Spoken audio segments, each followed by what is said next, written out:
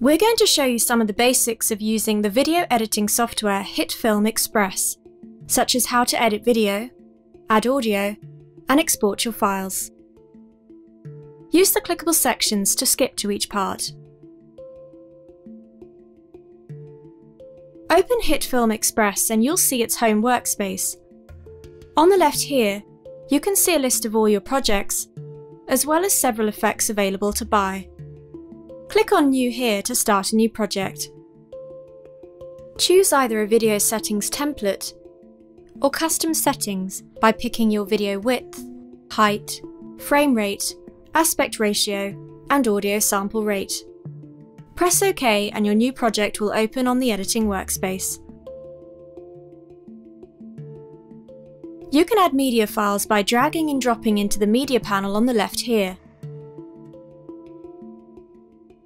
Alternatively, go to File and Import Media. Then choose which media files you'd like to import.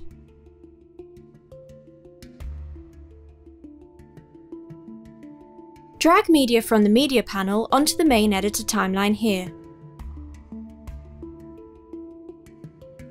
Video will automatically appear on a video track, identified by its blue colour. Audio will appear on a green audio track. Drag the media to move it to different points along your timeline. Use the player here to play back your edit in real time.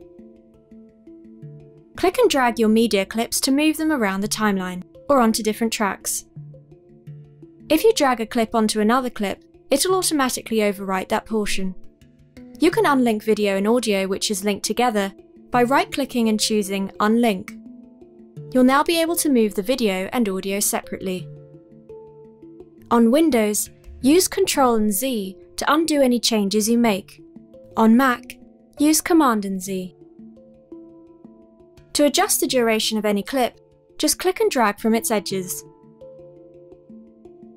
Use the Slice tool here to split media into independent clips. If you want to go back to your original cursor, use the Selection tool here.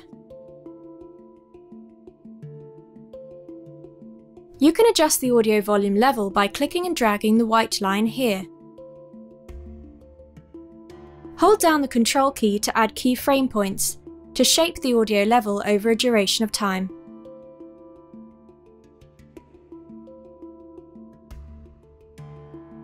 Select the clip you want to adjust and use the control panel on the left here to adjust properties like position, scale, rotation, and opacity.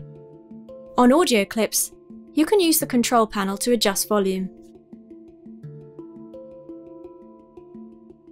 Use the effects panel here to browse for your desired effect. Drag and drop it onto your clip to apply it. You can then adjust the effect by going to the control panel, where you'll now see the effect. Enable and disable each effect by clicking on the checkmark here. Add transitions by dragging and dropping from the effects panel onto the edges of a media clip. Change the duration of the transition by clicking and dragging here. Adjust the properties of the transition by selecting it and using the control panel.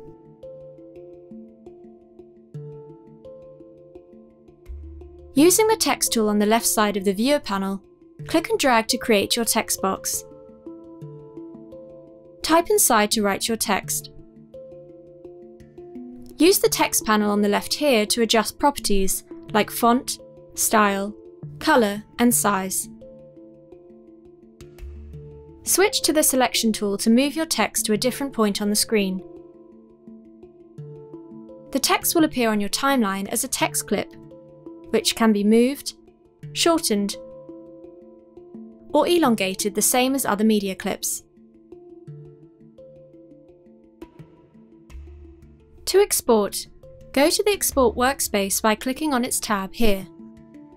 Next to the video, select Export to add the video to the queue at the bottom, ready to be exported. Inside Output, choose where to save the video,